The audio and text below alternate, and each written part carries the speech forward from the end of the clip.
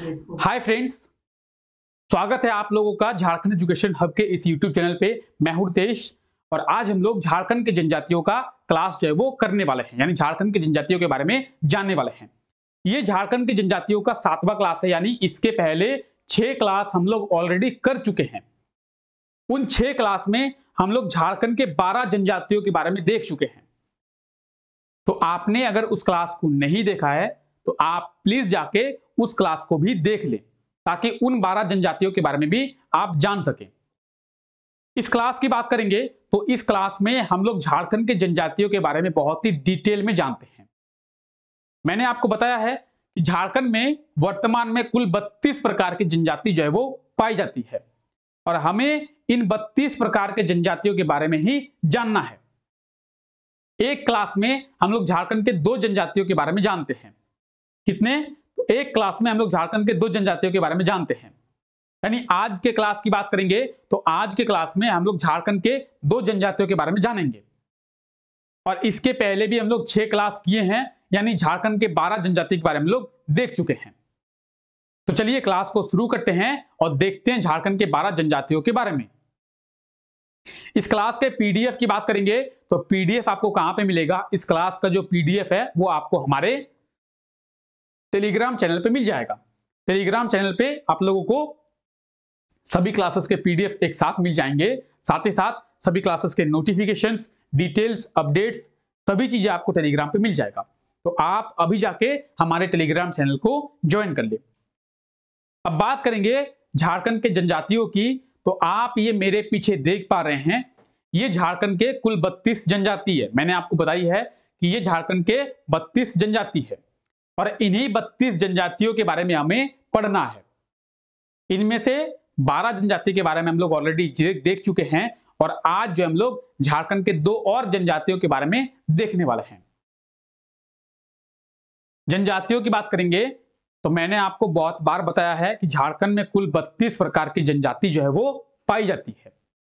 और इन्हीं 32 प्रकार की जनजातियों के बारे में हमें पढ़ना है, जिनमें से आठ जो है वो आदिम जनजाति है और 24 जो है वो अनुसूचित जनजाति है।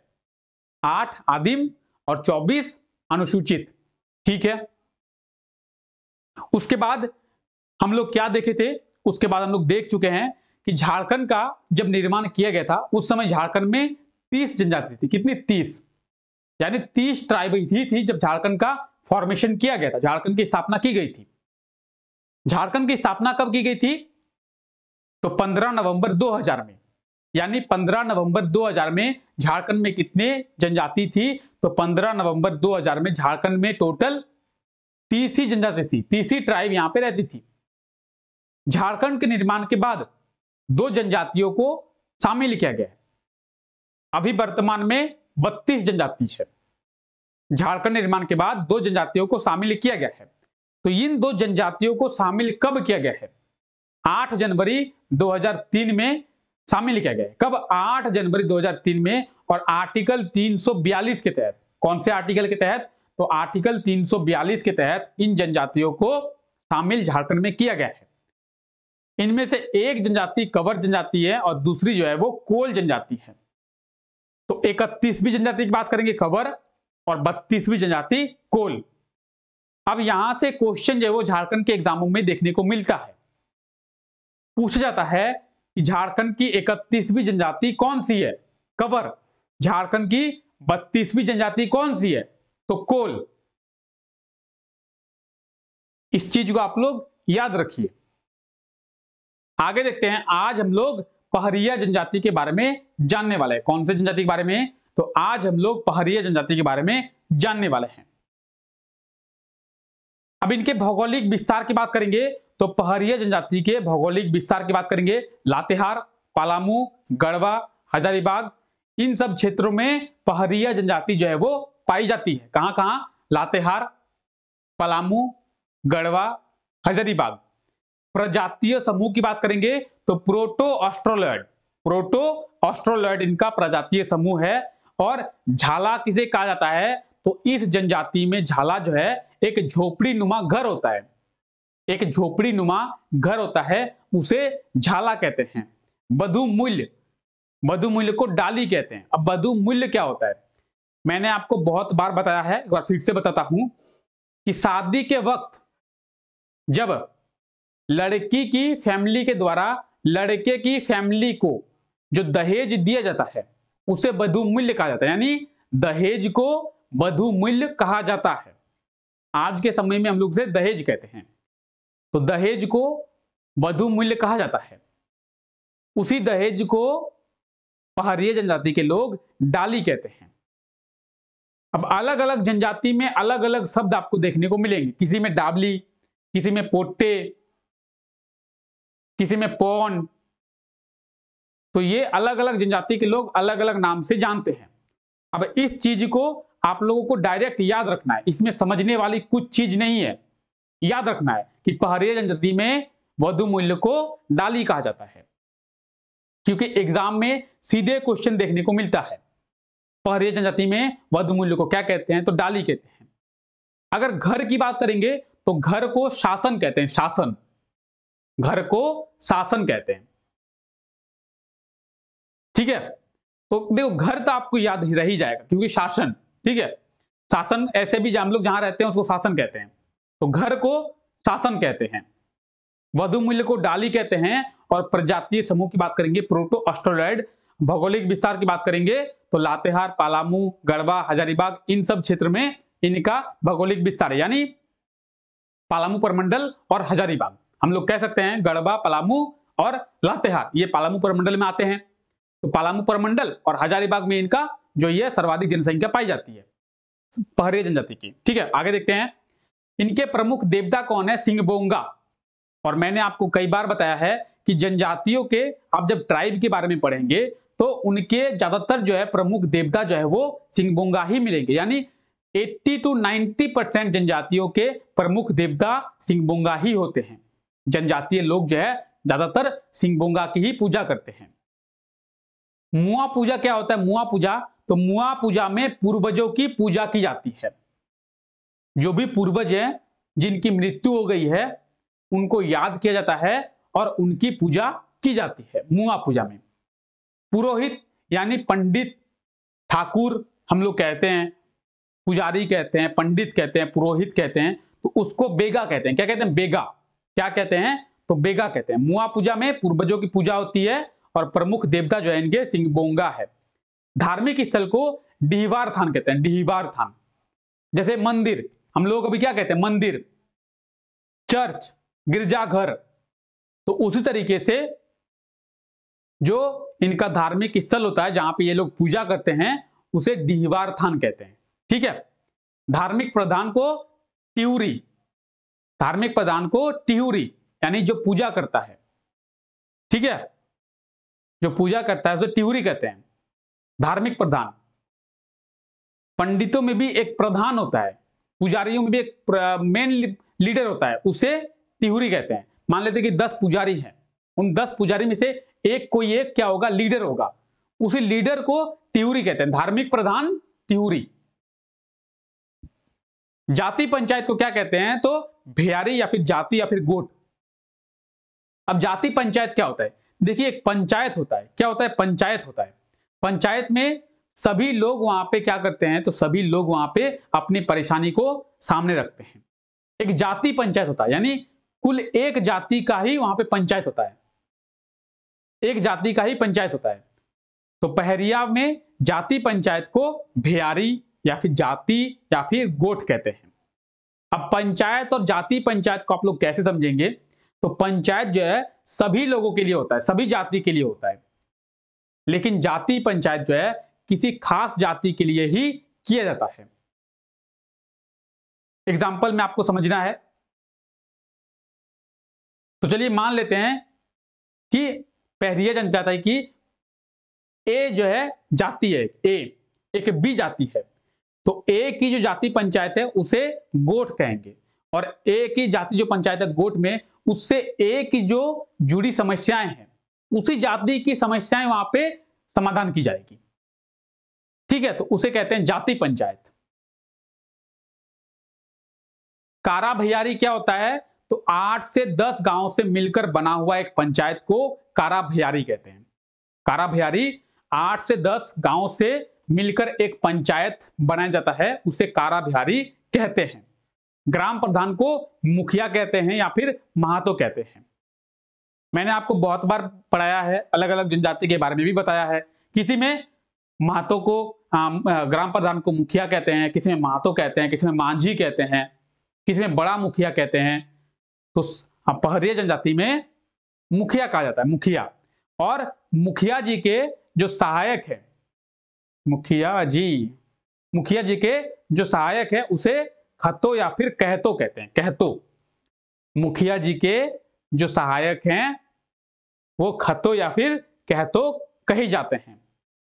और पहरिया जनजाति की जो वंश है, वो मातृसत्तात्मक है। मातृसत्तात्मक यानी माँ से उनकी पहचान होती है। अगर हमारी जनजाति की बात करेंगे, हमारे समाज की बात करेंगे तो हमारा समाज जो है वो पितृसत्तात्मक है। यानी हमारी पहचान पिता से होती है।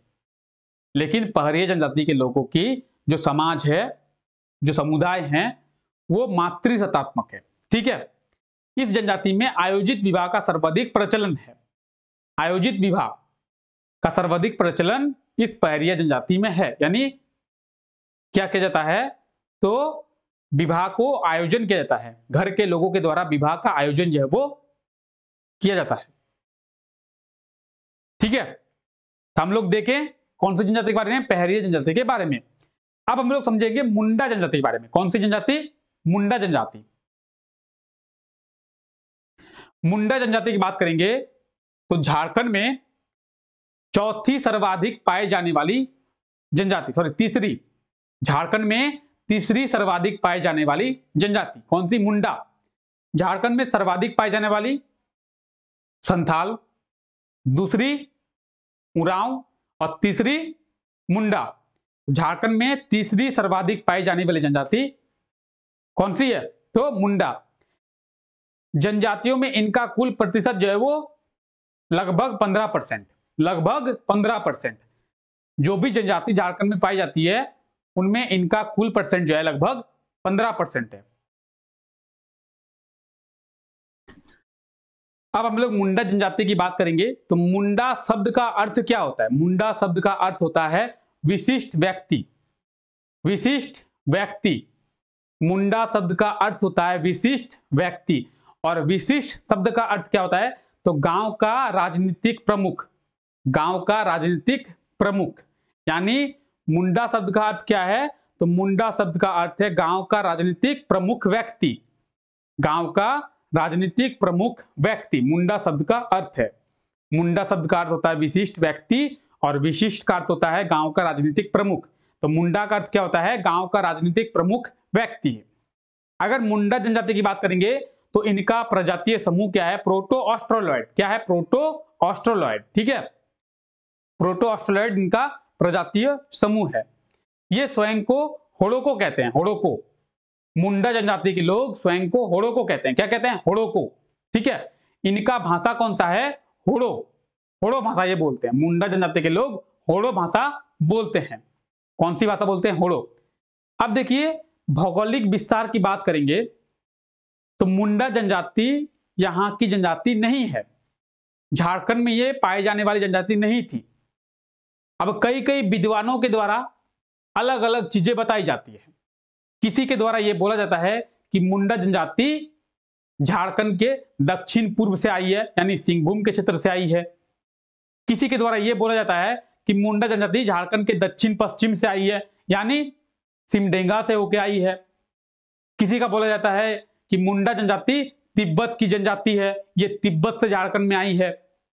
तो अलग अलग विद्वानों के द्वारा अलग अलग तर्क जो है वो दिए जाते हैं।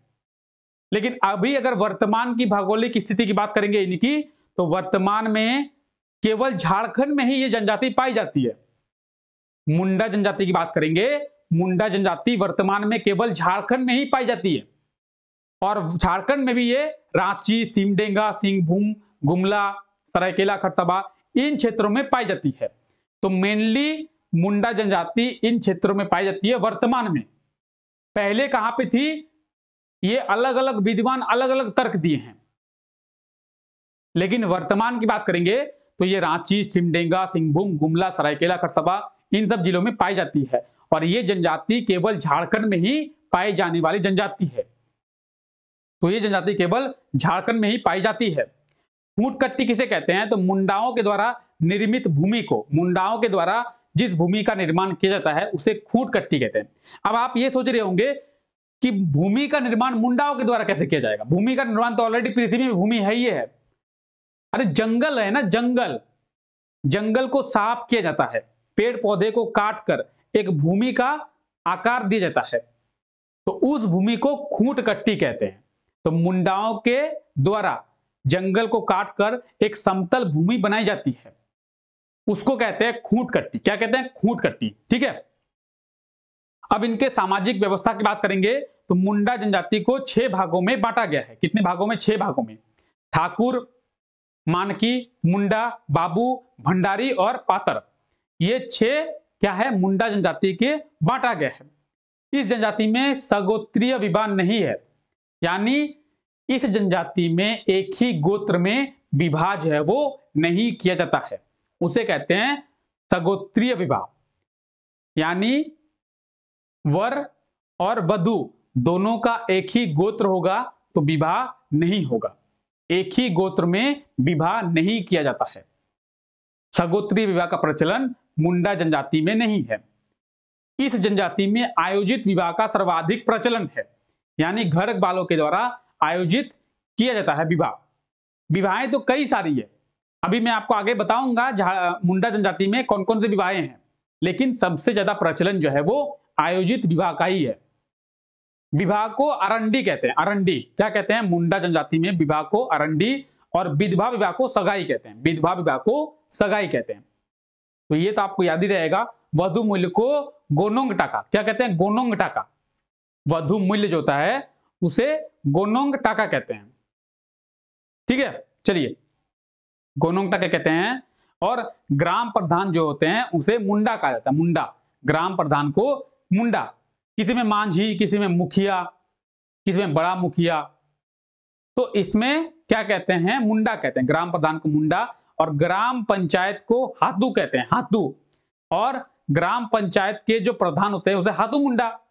ग्राम प्रधान को मुंडा, ग्राम पंचायत को हाथू। और ग्राम पंचायत के जो प्रधान होते हैं, पंचायत प्रधान, उसे हाथू मुंडा, दोनों को मिला दिया गया। हाथू मुंडा हाथू मुंडा, ठीक है? हाथू मुंडा जो है, वो कई गाँव के प्रधान होते हैं। अगर मुंडा की बात करेंगे तो मुंडा एक पर्टिकुलर गाँव का प्रधान होता है। लेकिन हाथू मुंडा कई आठ दस गाँव को मिलाकर एक प्रधान होता है, उसे हाथू मुंडा कहते हैं। ठीक है? पंचायत स्थल को अखड़ा कहते हैं, अखड़ा। पंचायत स्थल जो है उसे अखड़ा कहते हैं और गोत्र जो है, गोत्र को किली कहते हैं, किली, कौन सी? क्या कहते हैं? तो गोत्र को किली कहते हैं। हाँ। इनकी जो भाषा है वो मुंडारी है। तो मुंडा भाषा, मुंडा जनजाति, मुंडारी भाषा, आप समझ सकते हैं। ये कौन सी भाषा बोलते हैं? तो ये मुंडारी भाषा बोलते हैं, मुंडारी भाषा। इनके त्योहार की बात करेंगे, सरहुल, कर्मा सोहराय बुरु पर्व बुरु पर्व जो है वो दिसंबर के महीने में आयोजित किया जाता है। और ये जो बुरु पर्व है, ये बहुत ही इंपॉर्टेंट क्वेश्चन है। आप लोगों को अगर पता होगा, झारखंड दरोगा का एग्ज़ाम हुआ था 2017 में। और झारखंड दरोगा के एग्ज़ाम में दो बार ये क्वेश्चन पूछा गया है कि बुरु पर्व मुंडा जनजाति के द्वारा कब मनाई जाती है। तो बुरु पर्व को दिसंबर के महीने में मनाया जाता है। सरहुल, कर्मा, सौरा इनके त्योहार है। और बुरु पर्व को दिसंबर के महीने में मनाया जाता है। तो इसे आप लोग याद रखिए, ठीक है? मुंडा जनजाति की बात करेंगे। अब देखते हैं विवाह के प्रकार। तो मैंने आपको कहा कि विवाह के कई प्रकार होते हैं। राज़ी खुशी विवाह।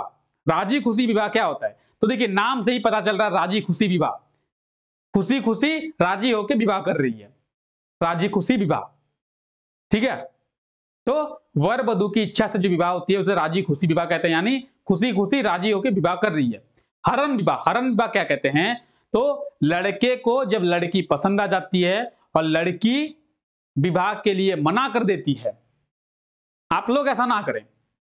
ठीक है? कहीं ऐसा ना हो कि आप लोग भी ऐसा करना शुरू करते तो आप लोग ऐसा ना करें। हरण विवाह क्या होता है कि लड़के के द्वारा जब कोई लड़की पसंद आ जाती है और लड़की विवाह से मना करती है तो लड़का जो है, लड़की को उठा के लेके चला जाता है और विवाह कर लेता है। उसे कहते हैं हरण विवाह। तो कृपया आप लोग ऐसा ना करें। कहीं ऐसा ना बोले कि सर ने हमें बताया है। विवाह करना है तो क्या करना है? लड़की को उठा के लेके जाना है और विवाह कर लेना है। कहीं ऐसा नहीं करना है, ठीक है? उसे कहते हैं हरण विवाह। तो राज़ी खुशी विवाह और हरण विवाह, ये हम लोग दो देख चुके हैं। सेवा विवाह किसे कहते हैं? सेवा विवाह। अब जो है सेवा विवाह क्या होता है? तो लड़की के द्वारा पहले लड़के के घर जाया जाता है और लड़के के घर वालों की सेवा की जाती है। यानी लड़की जो है, वो लड़के के घर में रहती है और उसके घर वालों की सेवा करती है। और उसके बाद इनका विवाह होता है। तो उसे कहते हैं सेवा विवाह। पहले सेवा करती है लड़की, उसके बाद विवाह होता है। तो सेवा विवाह। हट विवाह क्या होता है? हट विवाह। वधु द्वारा विवाह होने तक वर के घर में प्रवेश करती है। यानी लड़की जो है, जब तक शादी नहीं होती है, तब तक लड़के के घर जाती आती रहती है। ठीक है? तो उसे कहते हैं हट विवाह, हट। ठीक है? चलिए आगे देखते हैं। आर्थिक व्यवस्था की बात करेंगे तो मुंडा जनजाति के लोग जो है ज़्यादा कृषि करते हैं और पशुपालन करते हैं। क्या करते हैं? कृषि करते हैं और पशुपालन करते हैं। सोहराय पर्व की बात करेंगे तो पशु पूजा के लिए यह पर्व आयोजित किया जाता है। पशु पूजा के लिए सौराय पर्व को मनाया जाता है। अब यह क्वेश्चन भी इंपॉर्टेंट है, सौराय पर्व। सौराय पर्व में किस चीज़ की पूजा की जाती है? तो पशु पूजा। झारखंड दरोगा के एग्ज़ाम में भी ये क्वेश्चन भी पूछा गया है। ठीक है? मुंडाओं की भूमि जो है वो तीन प्रकार की भूमि होती है, तीन प्रकार की। पंकु हमेशा उपज देने वाली भूमि, नागरा औसत उपज देने वाली भूमि और खिलसी बालुयुक्त भूमि। तो मुंडाओं के द्वारा तीन प्रकार की भूमि होती है, ठीक है? जिसमें, देखिए, मैंने आपको कहा कहा कि मुंडा जो लोग होते हैं, वो ज़्यादातर क्या करते हैं, कृषि करते हैं। तो कृषि करने के लिए उनको भूमि के वो बांटेंगे ही, जिसमें ज़्यादा पैदावार होगी, जिसमें मध्यम पैदावार होगी। आज जहाँ पे पैदावार नहीं होगी, जिसे बंजर कहा जाता है। तो तीन तरीके के भूमि जो है वो होते हैं, ठीक है? धार्मिक व्यवस्था की बात करेंगे, प्रमुख देवता कौन है? सिंह बोंगा। और सिंह बोंगा को सूर्य के समान माना जाता है। मुंडाओं के प्रमुख देवता सिंह बोंगा, ग्राम देवता को हाथू बोंगा कहते हैं हाथू बोंगा। कुल देवता जो है ओड़ा बोंगा। और जल देवता को इकिर बोंगा, पहाड़ देवता को बुरु बोंगा, और पूजा स्थल को सारना कहा जाता है, सारना। तो प्रमुख देवता कौन है? सिंह बोंगा, ग्राम देवता हाथू बोंगा, कुल देवता ओड़ा बोंगा, और जल देवता इकिर बोंगा, पहाड़ देवता बुरु बोंगा, और पूजा स्थल जहाँ पे पूजा की जाती है, उसे सारना कहा जाता है। तो इतनी चीज़ें हम लोग आज देखे हैं। आज हम लोग झारखंड के दो जनजातियों के बारे में देखे। पहरिया जनजाति और मुंडा जनजाति। इन दो जनजातियों को मिलाकर अब तक हम लोग झारखंड के चौदह जनजातियों के बारे में देख चुके हैं।